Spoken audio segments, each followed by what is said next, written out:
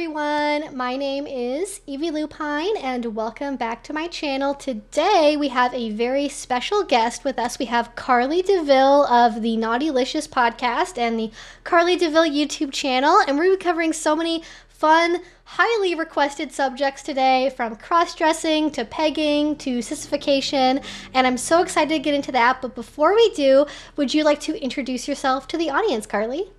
Yes, hello everyone. I'm so excited to be here. Um, my name is Carli de Ville. I'm a sexologist, I'm a therapist, I'm a content creator. I'm like, what else am I? I'm sure there's something else I haven't noticed. But uh, yeah, I make content on kink, BDSM, sissification, love talking with people. Um, learning about kinks and fetishes and all sorts of taboo topics. Mm-hmm. Uh, so it's my passion. I'm excited to talk mm-hmm. about it. so, all that good stuff. Yeah. So for the sexology thing, how did you get into that? Was that always what you knew you wanted to do, or like what was your path in that direction?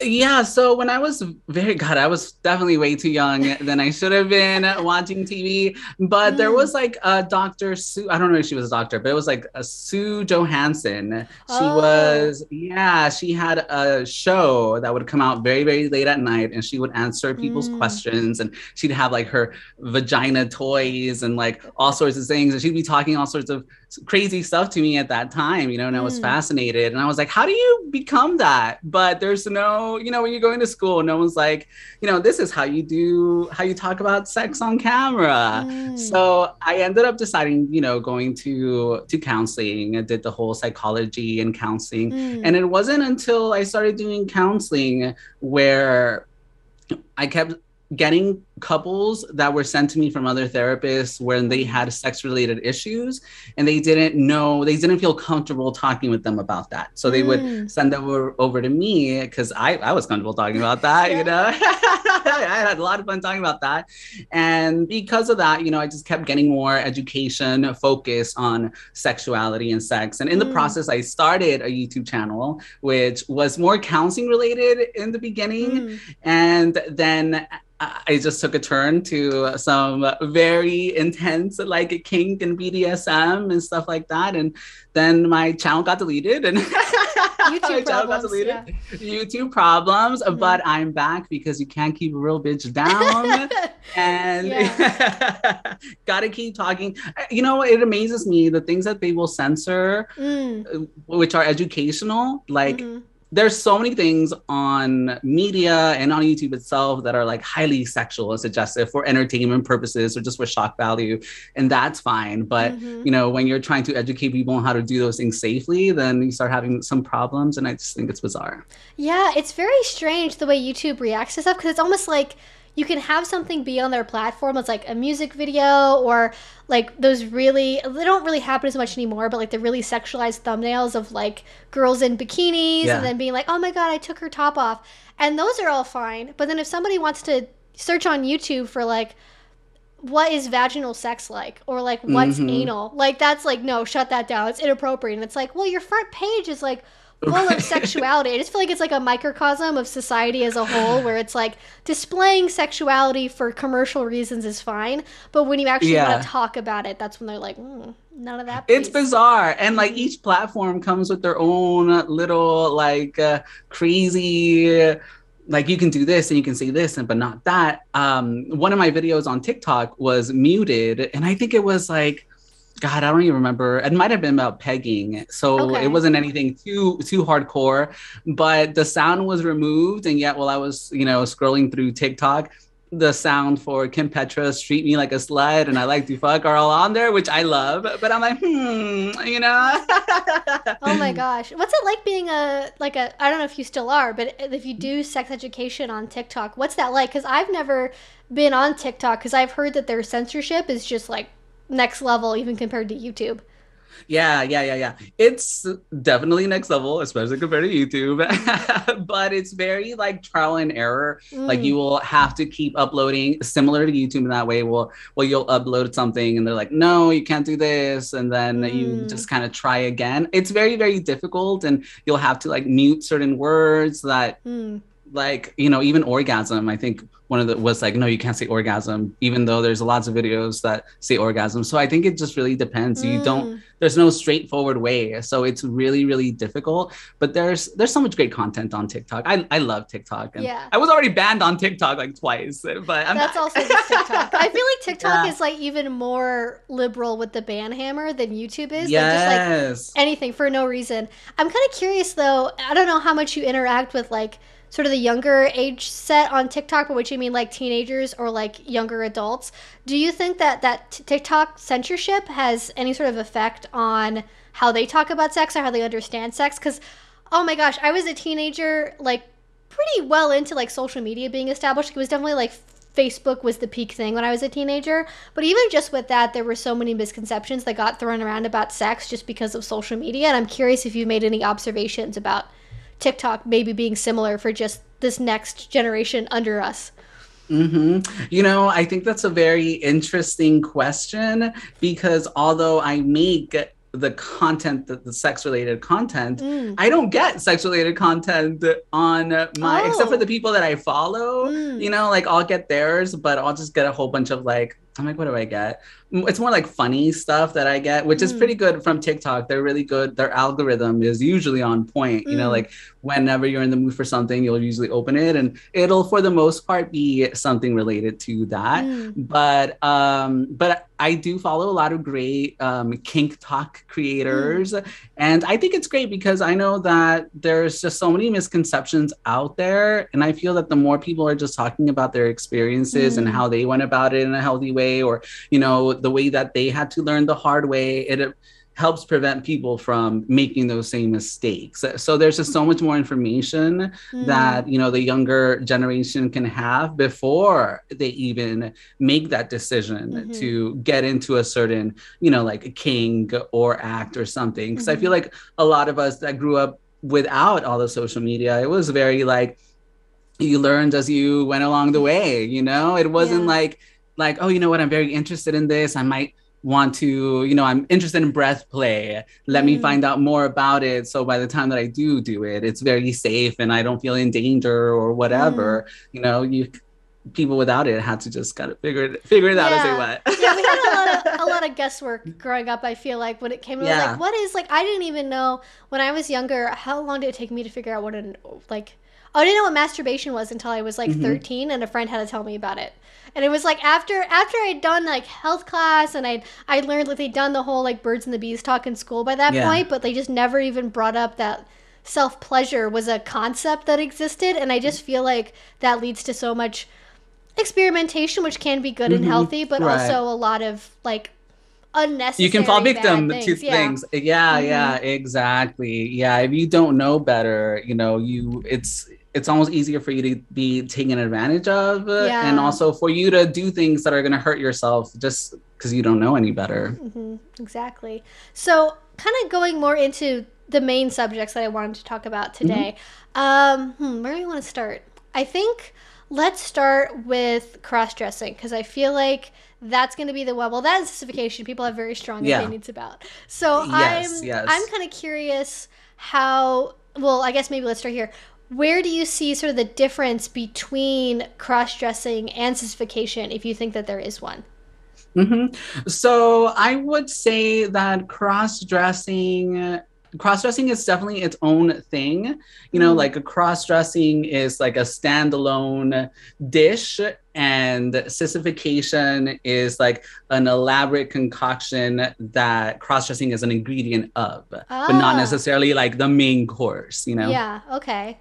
Okay, so do you think that cross dressing is it more of a kink thing or is it separate from kink and like outside of the BDSM community, but like mm-hmm. sometimes used by kinky people?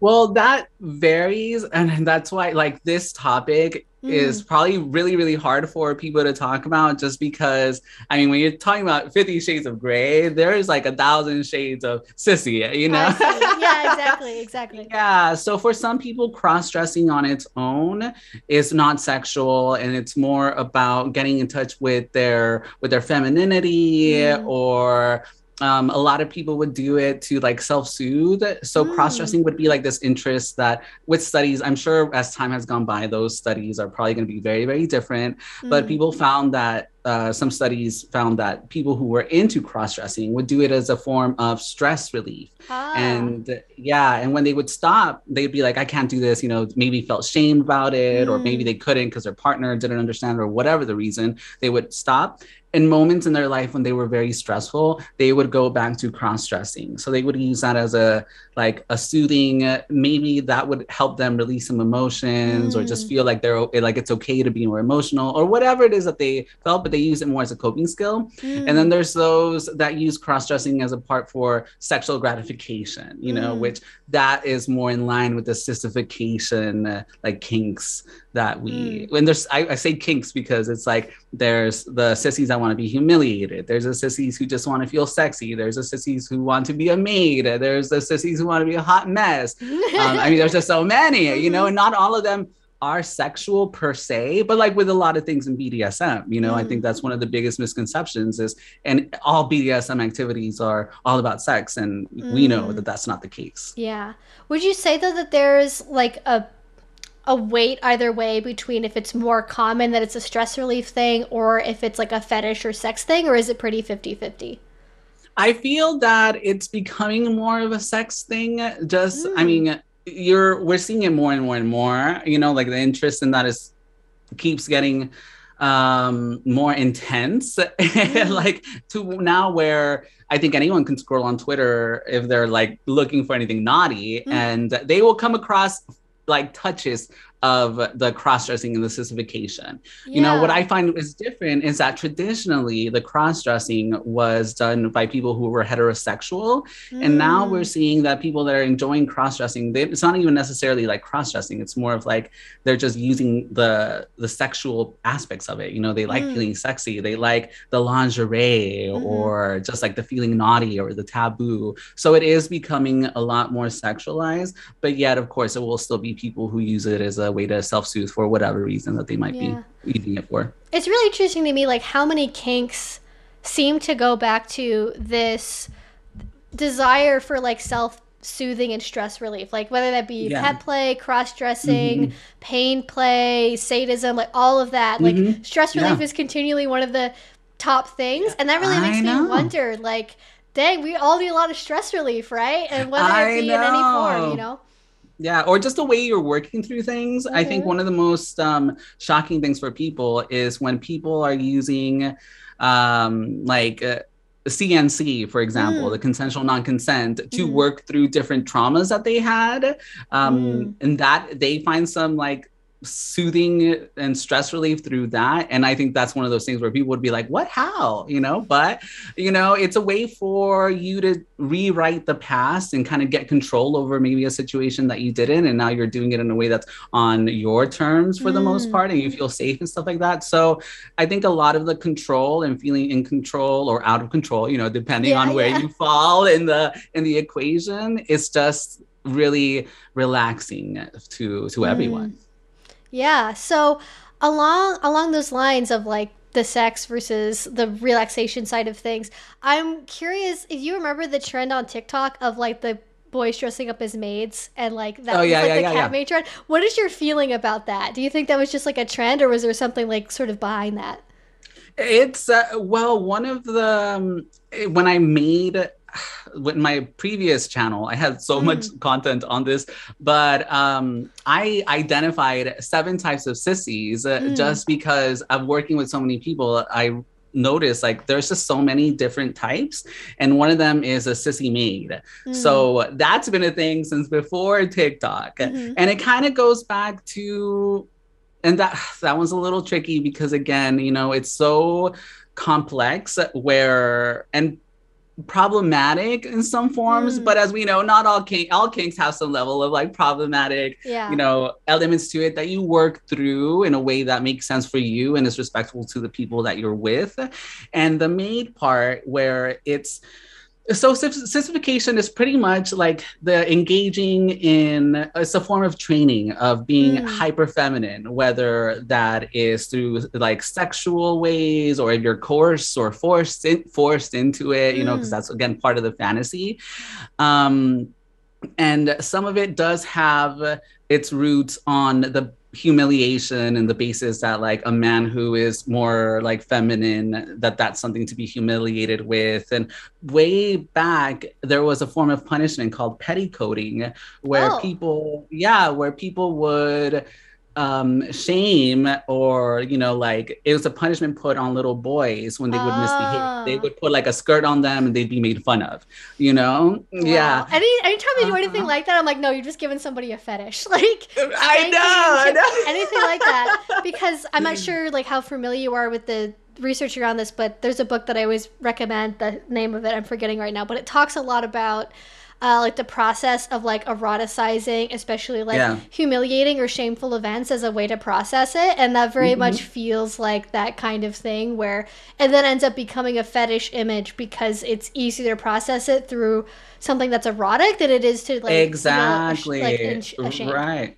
Mm-hmm. Mm-hmm. Yeah, you eroticize it, so it's no longer something that per- gives you like pain or distress. It's mm-hmm. something that is now like exciting and very sexy, mm-hmm. you know. So it does have its roots uh, originally in that humiliation and the whole like a, mm-hmm. a, guy being more feminine is shameful. Mm. Um, so you're teaching them essentially, you know, you're teaching them how to be hyper hyper feminine, and those more stereotypical gender norms and roles of like cleaning and being you know doing the dishes and mm. doing tea parties associated with like the maid has become a, a huge staple in that particular um, subset of people who enjoy sissification and it's like a lot of they have a lot of fun with it too and the, mm. the dominants have a lot of fun too because it's not just having like a little maid around your house you know doing your thing but you know they'll host like tea parties mm. and they'll be they can maybe be the human furniture mm. uh, they can provide entertainment to the friends and then I know you love, we both love everything cat related. yeah. So with like anime and things like that, that mm. love like the cat imagery, I think they just mm. kind of blend it together, and it's like it's really a thing right now. The yeah. cat maid. Oh yeah, that's like that's like such a right so now cute. thing, the like anime yeah. cat girl thing. I kind of wonder actually do they have any research about like where an interest in cross-dressing comes from? Like because you'll hear studies where people will say oh the reason why people like foot fetishes are so common is because of this like it's close to this part of the brain the sex yeah. of the genitals and yada yada. Do they have any studies where they've evaluated that for cross-dressing or like any observations you have about that I feel, not that I've seen, but it's a really tricky. I feel like it'll be a couple more years mm. before mm. you would even be able to get some good definitive findings from that kind of research mm. because mm. the some of the generations before us, you know, it was uh, very taboo to even want to put on some panties, uh, yeah. you know, or or mm-hmm. have long hair or anything like mm. that. So it's it's so interesting when people are so ashamed of things that even in an anonymous survey they will uh, not reveal you know what what made them do this or what made them do that but i feel that now people are a little bit more open sexually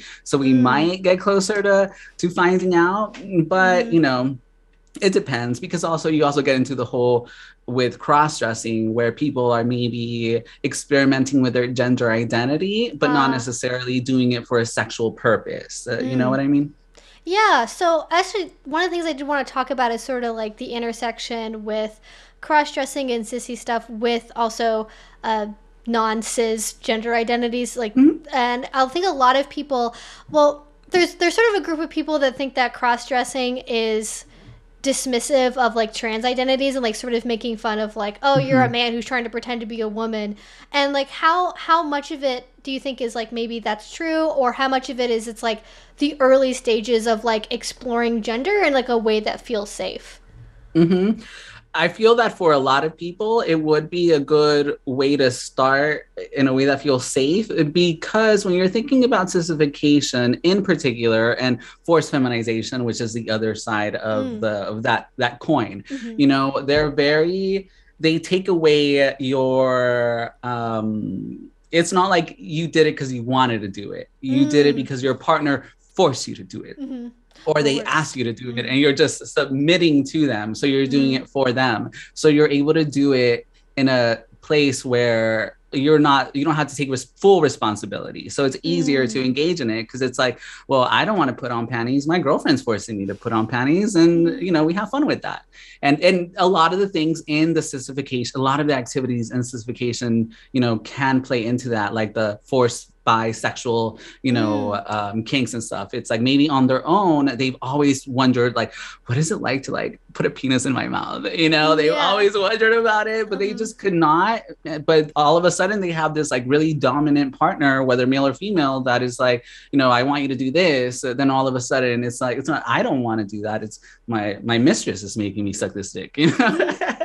yeah. I always think that's really interesting. I was having a conversation with somebody the other day about like forced bi as a kink because yeah. it feels like this very interesting way of exploring sexual orientation and sex acts that if you especially if you are like a man who's invested in like, you know, heterosexual like mainstream culture and ideas about masculinity you're like oh like i might think a little bit about wanting to know what sucking a dick's like but i could never do that because even doing it once makes me permanently gay and then right, my right, whole life's right. ruined uh, and, right, and sort of, you know even though obviously like i don't think that that should be the case but there's sort of that idea that oh no this is so dangerous to try and explore it and then forced bi sort of allows this place where you can explore other ways of engaging in sex that maybe you might be into, but that you, you know, again, it's mm-hmm. that like oh, somebody's forcing me to do it. It's not my fault. Don't blame me. Uh, this mean right. lady made me suck this dick, and right. I know. So I kind of I wonder, like, is that like if you asked people that engage in kinks like that, do you think they would consider themselves bisexual, or is it strictly just in a forced context where like they would primarily identify as straight? I feel like a lot of them would primarily identify as straight. That's mm. what I mm. have found in the people that I work with are pri- okay. But see, that's the thing, mm. and then mm. where people don't necessarily go to a sex coach or a therapist when they're really excited and happy and everything's going well. You know, they go see a therapist or a, a coach or whatever where they're trying to make something work. They have some sort of distress over something, or maybe they mm. they not they don't have the knowledge or the tools to do something. So you know that makes things a little different but mm, yeah. by far most of the people that i do see are like i would say like maybe 75% straight and 25% bisexual that they mm. say that they are okay interesting mm-hmm. i kind of wonder as sort of you talked about cross-dressing like becoming more sexual and it's definitely more visible because of places like TikTok. Do you think that might change? Like it might be something where people are more open to using bisexual as a label versus straight or I almost wonder like would that kind of ruin the kink like if male bisexuality is like so much more accepting like would that sort of get rid of it in a way? Because that taboo's not there. Right. I feel like at the very at the very foundational level of this kink is the is submission. Mm. You know, so I feel that that almost trumps sexuality ah. because that whole like especially when we're talking about people who are I who I do identify as straight, mm-hmm. you know, mm-hmm. surrendering their manlyhood or their heterosexuality mm-hmm. is like the ultimate surrender for them. Mm-hmm. So that alone, you know, could be a huge the surrendering their sexuality and their masculinity to someone can be so much more sexually gratifying than maybe like a same-sex contact that they might have during the sissification process. Yeah. Okay. No, that makes sense. So earlier you mentioned dominants that enjoy sissification and cross dressing. I really feel like mm-hmm. that's an important topic to explore because I think the stereotype a lot of people have, and certainly uh, like when I get comments and questions from people, and maybe you've observed this in your own practice, is you get a lot of people that are in like a super long term relationship with somebody and they they really want to be able to explore cross dressing, mm-hmm. but they don't feel safe about coming right. out about it almost is like I have this big scary thing I've hid in this closet. Please yeah. still accept me and love me. Yeah, and yeah, there's sort of this this fear of like, am I forcing my partner to do this? Like, or I feel like my girlfriend's not really into this or my boyfriend's not really into this, and I'm making them do it for my sake but not really their own and so i'm kind of wondering like what are the motivations and enjoyment like a dominant would get out of engaging in this kind of play Mm-hmm. Yeah, that's a really tough one because, uh, like you said, uh, a, a lot of the time and again i feel that it, things are changing now mm. right but for maybe a whole other older generation that are maybe like already they've been in marriages for like a really long time and they definitely never talked about anything sexual related with mm-hmm. their partner they definitely have a really hard time talking with their partner about it and that's usually most of the people that would come to see like a sex therapist or sexologist counselor or whatever is when there is that disconnect most of the, the time that i meet clients it's where maybe they they're discovered you know mm. where it's like i i caught my husband wearing my panties or oh. i he left his laptop open and i i saw the porn that he's watching so it's more of that first initially the main problem the main concern for the girlfriend the wife is usually like are they gay and mm. are they trans you know mm-hmm. like is this has this whole relationship been a lie wow. so that is usually the first thing that you need to work through before you get into the whole like okay well what could it what could be in it for you you know mm-hmm. but through the work once you realize once they come to terms with their partners who they are and they were the same person they probably had the same interests before they even met them you know and yeah. if they were with someone else they would still have those interests so it's not like the feeling that most people have when they cast their partner you know in a kink that they don't know about or like mm. fantasizing about things that they don't know about where they feel like am i not enough?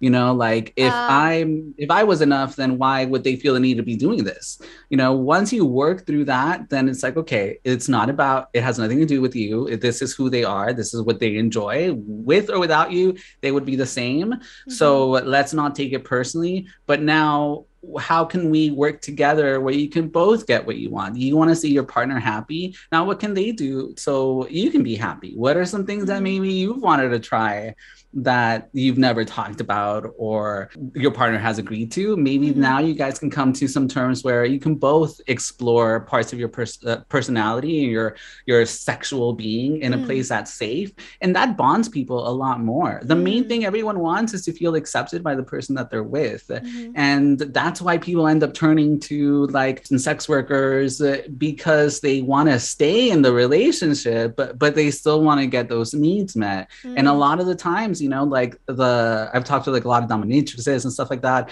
they will tell you they the the um, so we are calling them a john you know client, I guess, yeah. The client, yeah, mm-hmm. the client would love if they could do this with their partner to have it like not be secret and stuff like that. But at that moment, they just don't feel safe. Yeah. So creating a place where everyone feels safe, and then you can start exploring and just that bonding of trying it.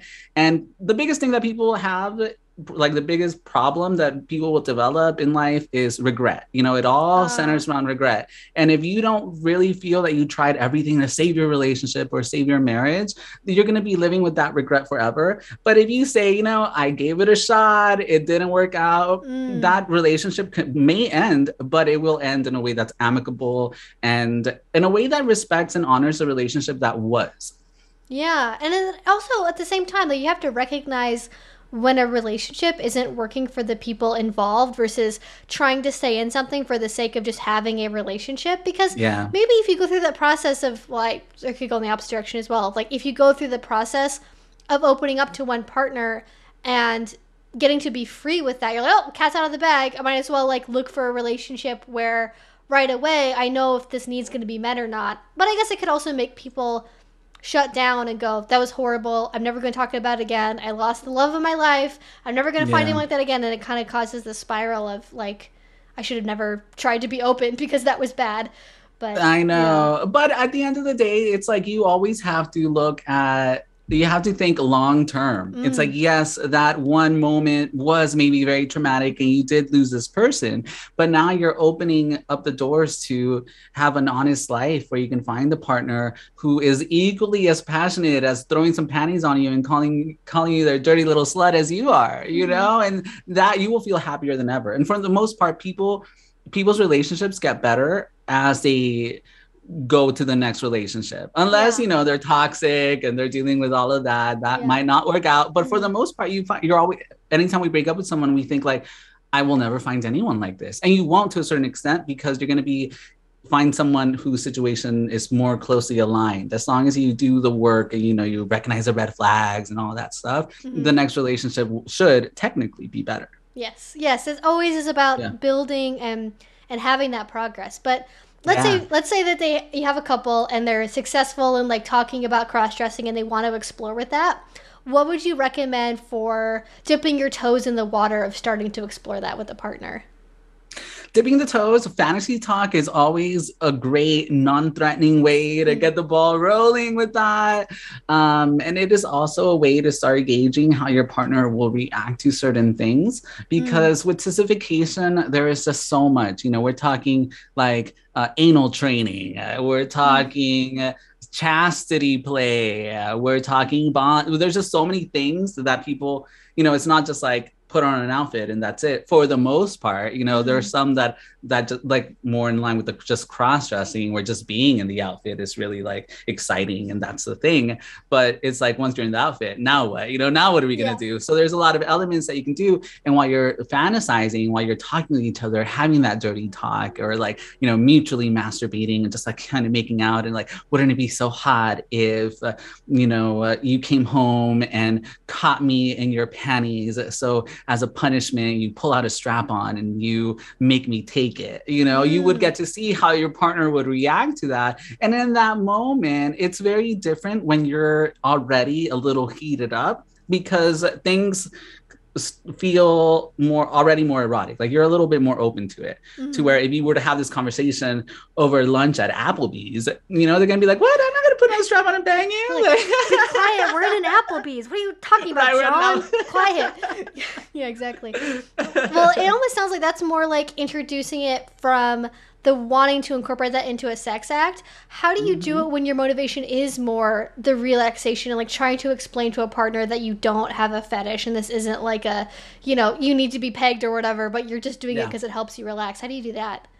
So the first thing that I always tell any of my clients, especially those that have not spoken to their partner about what they're into, is they need to become an expert in what they're into. Like Mm. Be they should not leave a single doubt over what it is that they like but more importantly why why they like what they like because uh, you know like kinks and fetishes are not like one panties fits all everyone is different Mhm. and everyone has a very different idea in their head of what something looks like Mhm. so, and I'll give you an example. You know, like there could be this one guy who's like, "Oh, I really, I really have like this cross-dressing um, like fantasy, and I really want my my girlfriend to make me her sissy." And he's finally mustered up the courage to talk to her about it. Mhm. And she's like, at first, she's like, I don't know, I don't know. But then she thought about she thought about it, and she's like, okay, well, let me look into it a little bit. And she's a little open to the idea, you know. She's going to be looking into what sissification is, like learning from who knows who on Reddit, you know. And there, again, there's so Mhm. many aspects and so many things that you can do in sissification. One of them is like um, small penis humiliation, for example. You know, she might see like, oh well, um, in sissification, there's small penis humiliation and then chastity play are very popular in that um, in that particular kink sphere. Mm. So in those cases, the penis is is useless. So they call it a useless clitty. You know, so just cage it up. Just Mhm. cage up that useless clitty because we're not gonna need it. You know, and Mm. it's very very prevalent in the, all of like in a lot of the porn and a lot of things that you would see online. So Mhm. she might be looking at that and think like, okay, well this is what he wants. So she goes and she gets a chastity cage, and then the night comes. You know, he's so excited. He's all like wet with anticipation. He's like, Mhm. finally, my fantasies are gonna come true. And she like walks in and she throws some panties on him and she's like, put these on, you know, and he starts putting them on. He's like, oh my God, finally, my fantasies are coming true. And then she's like, and look at that small penis. What a useless Yeah. clitty. And she starts laughing, but he's maybe like has some insecurities about that. Ah. All of a sudden, this fantasy is going to become a nightmare. And that's because he did not take the time to be like, hey, I'm into cross dressing, and this is exactly what I like about it. This is what turns me on, or this, it's not sexual for me. I just like feeling Mhm. pretty. I like feeling, you know, the the material on my skin. And I think it would be great to explore that with you because I feel safe with you. You know, so if you can explain to your partner what it is that you want in a way that has to like you take all the guesswork out for them, you're gonna have a better experience. And it's the same thing with any sort of kink or fetish, right? Because even with Mm. like BDSM, you can be telling your partner, hey, I really want to explore BDSM, and they're gonna think like like, and I want you to be tied up, and I want to like um spank you you know? Mm-hmm. they're going to be thinking like oh you want to hurt me? Why? You're just violent? You just want to abuse me? But if they tell them like something about you giving your control over to me and feeling really safe and knowing that i'm not going to hurt you and that trust is just really a huge turn on for me mm-hmm. then they can then they get a better idea of what it is that they want. And it's no longer something scary or threatening because you you're very well aware. And that's like total informed consent, which is really what you want in all these situations. Yeah, exactly. I think framing it as an informed consent thing is, is really important because, like you said, if you only give a little bit of information, they're gonna go, oh my god, what the hell is that? They're gonna Google yeah. it. They're gonna see all kinds yeah. of porn and Reddit threads and all sorts of things that are gonna be varying levels of accurate. And each individual person has their own motivations. Like if you tell someone, mm-hmm. I've always been a submissive and I, I want to be your sub, and then they go, what does that mean? And they Google it and then they find that they're like, okay, that means she wants to be tied up and beaten and this and that. And she might be like right. a little. And, you know, it's like completely right, right, opposite side of the spectrum.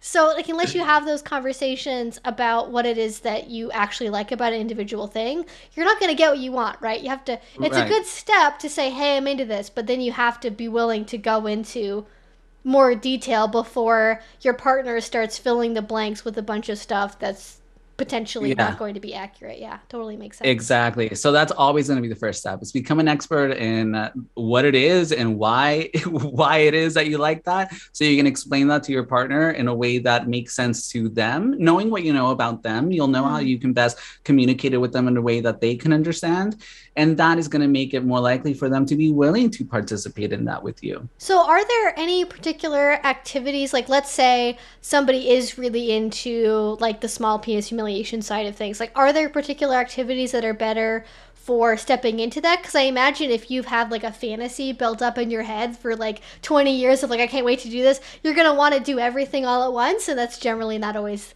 the best way to right. do things with like a new partner that's also sort of exploring this with you.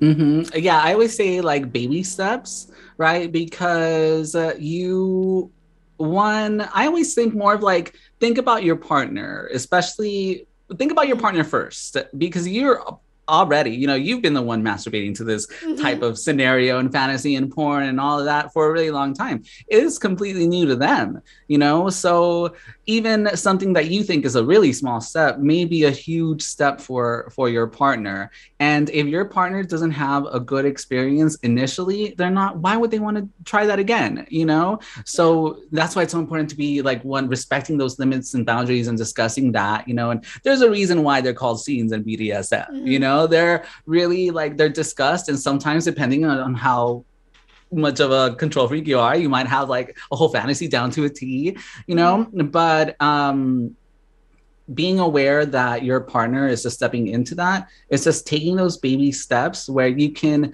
get a little bit feel how that feels let them feel safe and then the next time you can increase discuss you know how did that feel? Was that good for you? You know like do you feel that maybe next time you would be willing to do this a little bit more mm. because they need to be as enthusiastic about it as you are or else you're not going to like it you know it's like we've all mm. been with like uh i think we've all had maybe like uh, maybe a person who's more submissive or maybe more like mm. the submissive bratty side where they're with someone and that's not necessarily very dominant and they're like i want you to be dominant and like mm they like spank me and they spank and like mm, that's not you're not really doing it right you know it's like mm, are they yeah. not really doing it right or are you not guiding them in the way that you need them to be yeah exactly you gotta you know the other person doesn't necessarily know what's going on or like what right. your fantasies are and if they don't know what's going on they're not going to be able to live up to that mm-hmm. uh, yeah. i would say that based on your descriptions it does kind of sound that the uh, the partner that's opposite the crossdresser or the sissy is is typically expected to be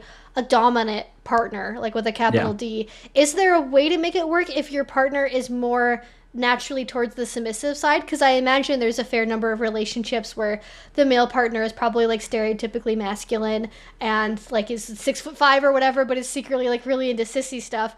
And right, then his right. partner's like, well, I was with him because he seemed really masculine, like a big strong man, and like now he tells me he wants to like dress up and I have to humiliate him. I don't want to do that. Like I'm more right. of a submissive myself. How do I balance these things. That is one of the hardest things for the partner to get through, you know, Mm. to process because there is this fear of if I am more dominant how my partner wants in the bedroom, then all of a sudden I'm going to have to be the more dominant one in our whole relationship. Ah, you yeah. know, but that's not always the case. It's like the fantasy and bedroom activities aren't you're not going to be i mean some people will want it 24 7 but I, I think if you're already in a relationship and it hasn't come up you're probably not in a relationship with someone who wants it 24 7 you Mhm. know? But even then you can still explore and just um having that open line of communication and again you know just taking those baby steps and then just checking in to be like okay like what can we do that's a little different now? Or how can we kind of like take this up a notch a little bit in a way where everyone's okay everyone will start having more fun and if they don't enjoy it then you know then then that's when you have that conversation of like okay we tried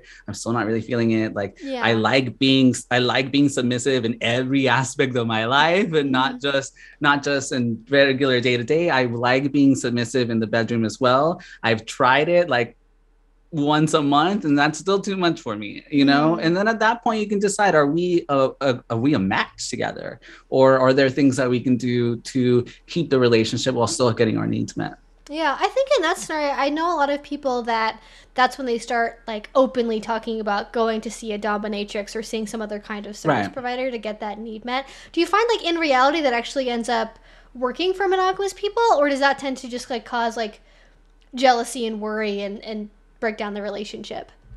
Yeah, I feel like unfortunately it does end up having a lot of problems if a person is really, you know, you can't uh, you can't be a really kinky person Mm. and like expect someone who is the opposite of that to really be oh, like happy doing the things that you want them to be doing. You know, it's like I was telling everyone like, don't invite a virgin to an orgy and get upset when they don't want to do anything. You Yeah. know, and that's why it's so important to discuss in the early stages of dating. It's like a job interview. You know, you need to Mm. see if you're a good fit. Yes, I know you want to impress and you want them to like you, but what's more important is that you know if you're a good match.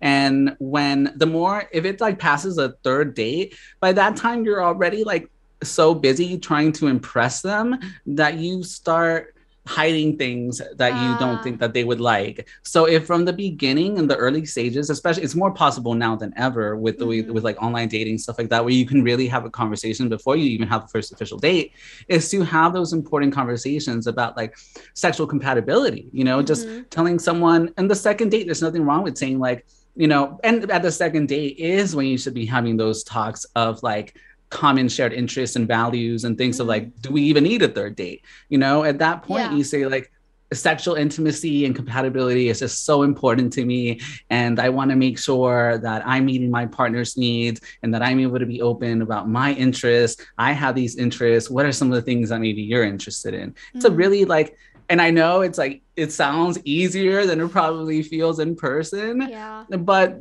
the more that you get you get the more that you do it it's just as easy as like do you want kids in the future you know? Yeah, and I think that also goes with age as well, which is, you know, when you're 18 or 19 and you're dating, like a lot of people don't start out, okay, second date, I gotta find out does this other 19 Right, right. also want kids.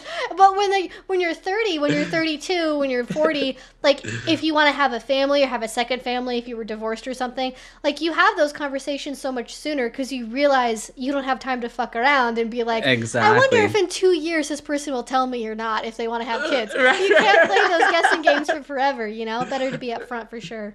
Yeah maybe in two years they'll want me to be their submissive little maid slut you know Yeah, yeah exactly. They're like, oh, maybe one day if I don't say anything, my dreams will magically come true with no with exactly no sort of stress on my part about trying to make it happen for sure. and that's when you run into trouble right because Mhm. you're keeping something and then eventually like i said you you cross that threshold of wanting to where you're getting to know someone and trying to see if you're a good match and then you're just so busy trying to impress them to get that relationship or make them Mhm. fall in love with you or get the ring or whatever it is that you're doing. At that point you're just trying to make it work. You know you're not trying to share like all of the sides of you and like exposing yourself. You just want this person to to love you you know? And then later on it gets really as the years go by it gets so hard to bring up something like that because at that point your lives just become so meshed together that you there's so much more at risk. And you're like oh well if i say this and they leave you know like my whole life is going to be over so i'll just keep it a secret. Mm-hmm. and then when they find out they feel like i've been living a lie. They've been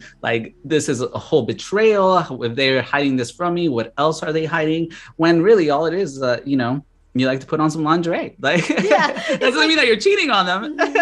Yeah, I have to imagine that's probably a worry for a lot of people when they discover something like because it can seem like, oh my god, I totally don't know this person. That they're like, are they right. cheating on me? Are they lying? Like, what else are they lied about? And it becomes this fear of like, well, now I can't tell them because they're gonna assume all this other stuff, and it just gets worse and worse. So really, the moral at the end of the day is talk early and talk about a lot of stuff mm-hmm. to make sure that yeah. you're gonna have a relationship that both of you ultimately want to have, right?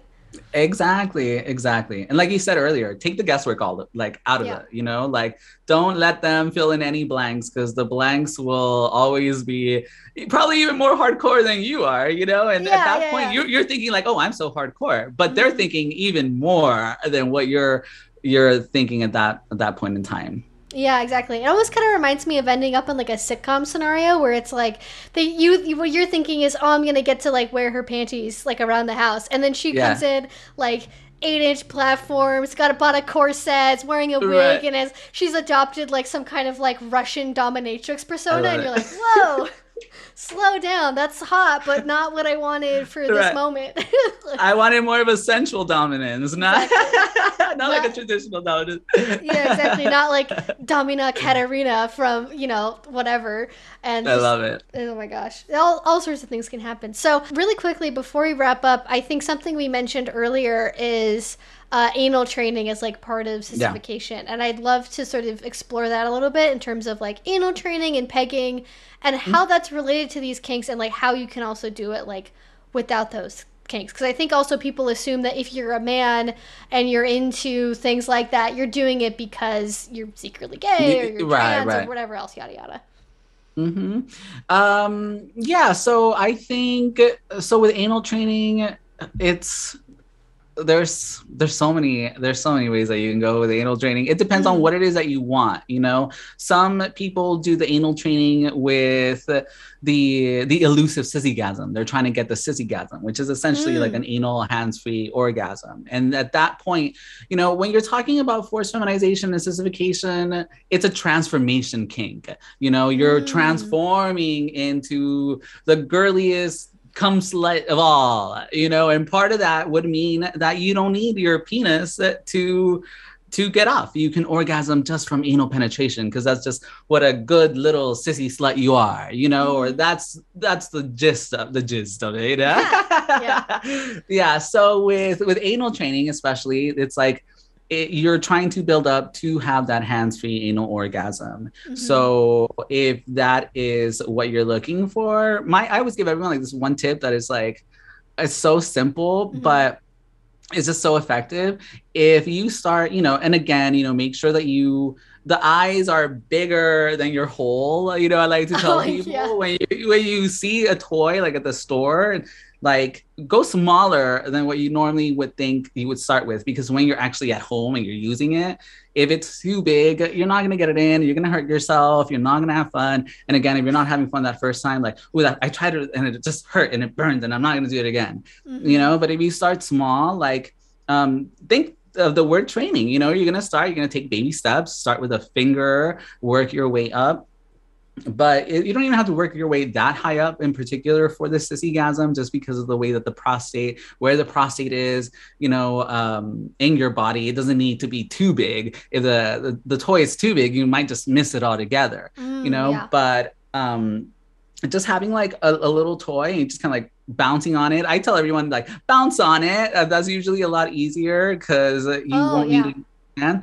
So if you're sitting on the toy, you know, like stroke yourself while you're getting off, you know, and then as soon as you're about to get like really, really close to orgasming, like maybe like a second, a second before, you can just let go of the penis and kind of like jump a little oh, bit more. Yeah. And the toy will do the rest. You know, it'll hit that mm. prostate and you will have that sissygasm, that anal orgasm. Then the next time that you do it, just let go like a second and a half before and then like two seconds. It'll be a long process but eventually you will do it where you've already trained your mind and your body to feel the the sensations and orgasm that way. Mm. um, now in terms when you're talking with a partner and the partner is going to be doing the pegging there does there is some little differences with that. One because the partner with the vulva doesn't feel like if your butthole's clenched shut. You know, they yeah, don't yeah, know. Yeah.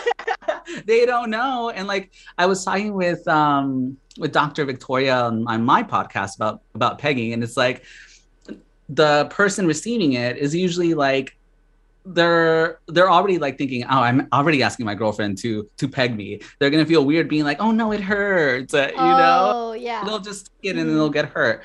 So always have the partner, the receiving partner, choose choose a strap on. I always say make sure that it's like a strap on with something in a, little for you, maybe like a little bullet or like a double sided situation, so you're also getting some pleasure while you're doing it. You know, use a lot of lubrication. Make sure that you're talking about those things before. The more comfortable you get with talking about things like lube and like mm-hmm. safe words and and all that, the easier it will be for you to communicate like, hey, that you're going a little rough.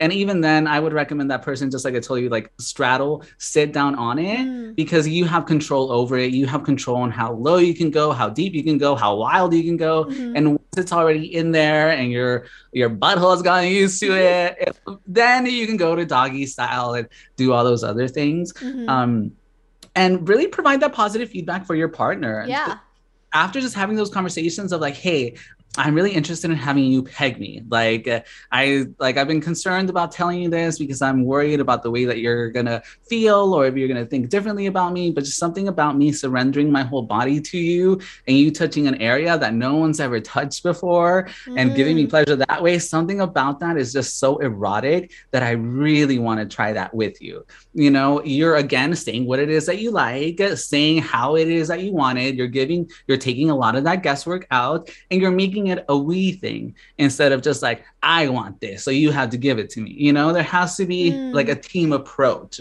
and then you know you can start having having a little peg on. yeah, I feel like that's, that's really good to keep in mind because I think for a lot of people ask me questions about pegging like as the partner that would be doing the pegging they're like mm-hmm. i don't understand what's in this for me this kind of seems sort of selfish like why like why do i have to do this kind of almost like what's in it for me and having those things like you said like the bullet vibrator or yeah. the, the double penetration or not the double penetration but the double ended yeah. dildo or just uh, you know even you know making sure that they orgasm first and then do the pegging like all of that mm-hmm. is really good to be able to build it into a mutually positive experience as opposed to right. like if you don't if you're not like very dominant yourself and you're like why would i want to do pegging like anal seems weird i don't know that you know you yeah. don't want to end up in a scenario where it just you know causes resentment for the relationship exactly right and that's why it is really important to say all those things and it sounds like a lot of communication and it kind of is but the mm. more communication that you have up front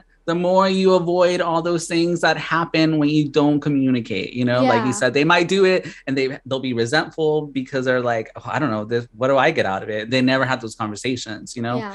um, i always just remind people that are in that situation because like you said you hear it in the comments all the time i hear it in person all the time well through screen yeah, but um, i'm always reminding people like well okay what about when you're going down on your partner? Like and you're just going down your partner. You're just using your mouth to go down your partner. You're not necessarily like, I mean, our throats don't feel that great when we're going down on it, you know? Mm-hmm. and so it's like you're getting pleasure out of giving your partner pleasure at that moment. Mm-hmm. So just think about pegging your partner in that way. It's not necessarily like, well, what's in it for me? What's in it for you is that you're giving your partner some pleasure.